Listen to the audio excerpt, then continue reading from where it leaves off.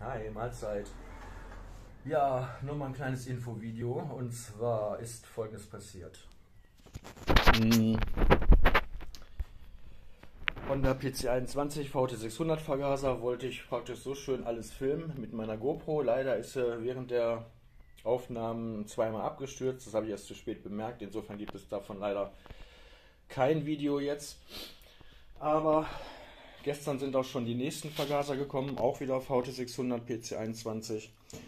Da werde ich es dann nochmal versuchen, werde aber statt der GoPro irgendeine andere Kamera verwenden. Insofern läuft es nicht weg. Die MT-09 ist fertig und die XS1100 Vergaser kommen heute noch dran. Also, leider klappt es nicht immer so. Im Moment, die GoPro nervt mich total, die hat immer mal Ausfälle, auch bei der Probefahrt neulich, ich weiß nicht. Also, äh, keine Ahnung. Das nächste Mal wird es, glaube ich, keine GoPro mehr werden. Alles klar, bis dann, erste Dirk war's. Ciao.